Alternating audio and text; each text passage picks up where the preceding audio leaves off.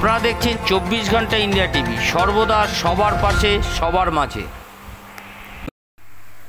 বরানগর পৌরসভার পক্ষ থেকে এলাকার পরিষ্কার পরিচ্ছন্ন রাখার জন্য মানুষকে যেহেতু দীর্ঘদিন ধরে বলে আসার পরেও সতর্ক হচ্ছে না, সেই কারণে পৌরসভার পক্ষ থেকে সিদ্ধান্ত নেওয়া হয়, জঞ্জালের উপর সাধারণের মানুষের কাছ থেকে কুড়ি টাকা এবং ব্যবসায়ীদের কাছ থেকে একশো টাকা নেওয়া হবে। সাথে সাথে ট্রেড লাইসেন্সে যারা ছিল একশো টাকা এখন বর্তমান ট্রেড লাইসেন্স ফ্রি তিনশো টাকা। স্বভাবতই স্বাভাবিকভাবেই জঞ্জাল এবং ব্যবসায়ীদের ট্রেড লাইসেন্স ফির বিদ্যুৎ বিরুদ্ধে এবং আজ বড়নগর পৌরসভার সামনে এসইউসিআই কমিউনিস্ট কমিউনিস্ট বড়নগর আঞ্চলিক কমিটির পক্ষ থেকে বিক্ষোভ, স্লোগান এবং সংক্ষিপ্ত সভা। সেখানে পাঁচজন প্রতিনিধি দল বড়নগর পৌরসভার পৌরপ্রধান অপর্ণা মল্লিকের কাছে গিয়ে এসইউসিআই কমিউনিস্টের পক্ষ থেকে ডেপুটেশন তুলে দেওয়া হয়। চব্বিশ ঘণ্টা ইন্ডিয়া টিভির প্রতিনিধি বলরাম বোসের বিশেষ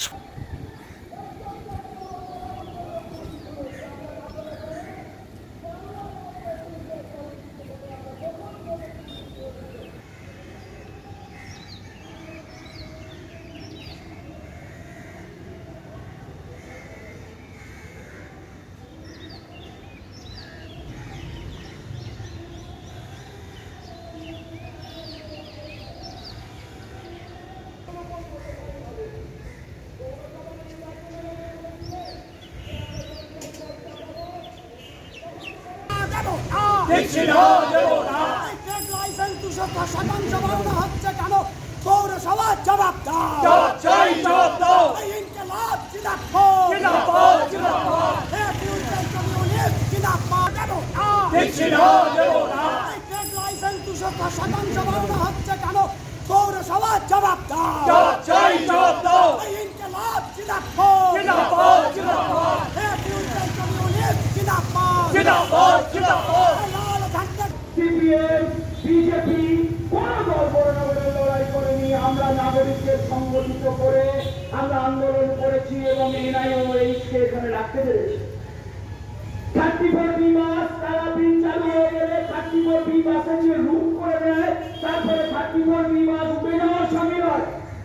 আমরা নাগরিকদের সাথে নিয়ে থার্টি ফোর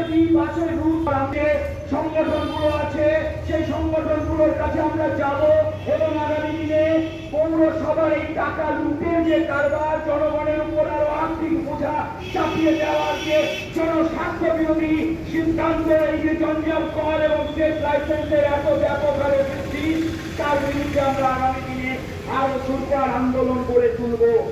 এবং আমাদের বিশ্বাস বরানগরের জনগণ আমাদের সেই আন্দোলনের পাশে থাকবে।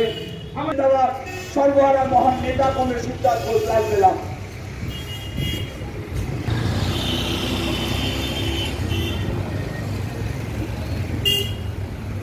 বন্ধুগণ পক্ষ সাধারণ মানুষ এই অঞ্চলের যারা শুনতে পাচ্ছেন, তাদের কাছে আমরা এই কথা তুলে ধরতে চাইছি। আপনারা জানেন যে গ্রহণের প্রতিবাদে সেই সময় দাঁড়িয়ে কমিউনিস্ট বড়নগরের জনগণের স্বার্থে আন্দোলন সংগঠিত করেছিল এবং আন্দোলনের চাপে বিগত পৌর বোর্ড সে সিদ্ধান্ত বাতিল করার সিদ্ধান্ত গ্রহণ করেছিল। কালা সিদ্ধান্ত বাতিল না হয় বিগত পৌর বোর্ডের আমলে যে আন্দোলনে বড়নগর পৌরসভায় গড়ে উঠেছিল এসিউসিআই কমিউনিস্ট দলের নেতৃত্বে আজকেও সেই আন্দোলন গড়ে উঠবে এবং এই আন্দোলনের মধ্যে দিয়ে আমরা আমাদের দাবি আদায় করব। আমরা আমাদের এই কর্মসূচির কাজ আমরা চালিয়ে যাব। ইনকেলাব জিন্দাবাদ এসিউসিআই কমিউনিস্ট জিন্দাবাদ সন্তান পৌরসভা জবাব দাও। এরই প্রতিবাদে চলছে। কোন অজুহাতেই বড়নগরের নাগরিক থেকে আর এক চার কোনো টাকা নেওয়া চলবে না। বড়নগরের সাধারণ মানুষের থেকে ট্যাক্স নেওয়ার পরে জল কর কেন পৌর সভা জবাব দাও কি দাবির ভিত্তিতে কেন দিচ্ছেন আমরা অত্যন্ত আশ্চর্যের সঙ্গে দেখলাম যে বরানগর পৌরসভা তারা সাফাই কর চাপিয়েছে বরানগর পৌরবাসীর ওপর যখন আমরা ট্যাক্স দিই। আমরা ট্যাক্স দিই পৌর পরিষেবা পাওয়ার জন্য। ফলে এই সাফাই কর চাপানোর প্রতিবাদে আমরা আজকে এখানে বিক্ষোভ ডেপুটেশন করছি। এর পাশাপাশি বরানগর পৌরসভা দুশো থেকে আড়াইশো শতাংশের উপর ট্রেড লাইসেন্স ফি তারা বাড়িয়েছে। এই ট্রেড লাইসেন্স ফিও বাড়ানোর প্রতিবাদে আজকের বিক্ষোভ কর্মসূচি।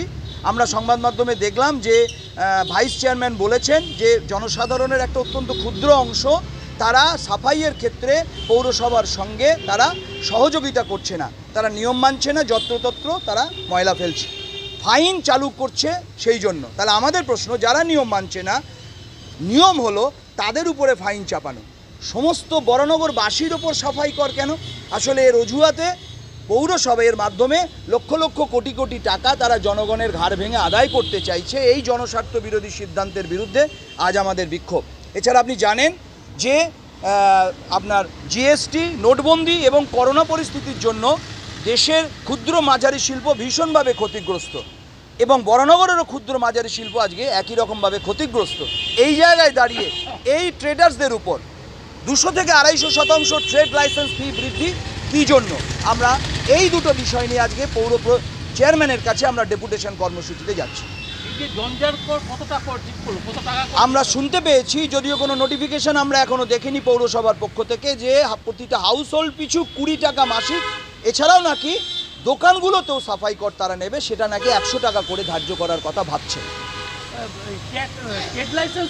ট্রেড লাইসেন্সটা আমরা যেটা জানতে পেরেছি যে ন্যূনতম ছিল একশো টাকা সর্বাধিক ছিল দেড় হাজার টাকা। এই ন্যূনতমটা তারা করেছে তিনশো টাকা সর্বাধিকটা করেছে পাঁচ হাজার টাকা অর্থাৎ দুশো থেকে প্রায় দুশো চল্লিশ শতাংশের মতো ট্রেড লাইসেন্স ফি বেড়েছে। তাহলে কি এটা কি মনে করছেন যে এই ট্যাক্সের মধ্যে দিয়ে যে মেলা খেলা বা এই যে মানে অপব্যবহার করা হচ্ছে অর্থনৈতিক দিকে তার জন্যই এই আসলে ঘটনা তাই। আসলে আজকে সমগ্র পৌরসভা রাজ্য সরকার আজকে এই ধরনের জনস্বার্থ বিরোধী তারা যে নানান কিছু করছে তার মধ্যে দিয়ে তারা সরকারি ফান্ডটাকে অপব্যয় করছে করে পুরো আর্থিক বোঝাটা জনগণের ঘাড়ের উপর চাপিয়ে দিতে চাইছে। আমরা এসইউসিআই কমিউনিস্ট পৌরসভার এই সিদ্ধান্তের বিরুদ্ধে আমরা আজকে প্রতিবাদ করছি।